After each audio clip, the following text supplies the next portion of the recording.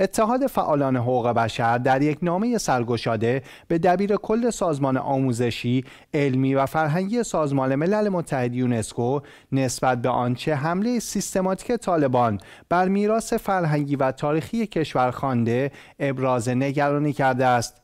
در نامه این نهاد که روز شنبه 28 بهمن ماه همگانی شده آمده که اقدامات طالبان منجر به حمله سیستماتیک و هشدار دهنده به میراث غنی فرهنگی و تاریخی کشور به ویژه عناصر مرتبط با آن از جمله زبان و ادبیات فارسی شده است.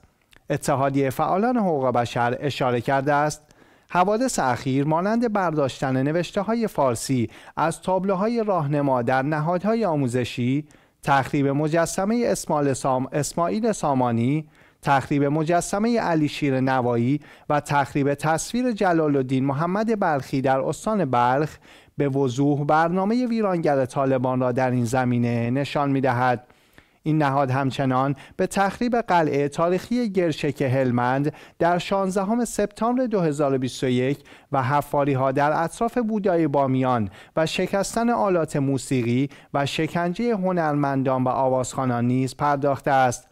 اتحاد فعالان حقوق بشر تأکید کردند که طالبان معلمان و استادان دانشگاه را برای ایراد سخنرانی به زبان پشتو حذف زبان فارسی از برنامه های اداری زیر فشار قرار می دهند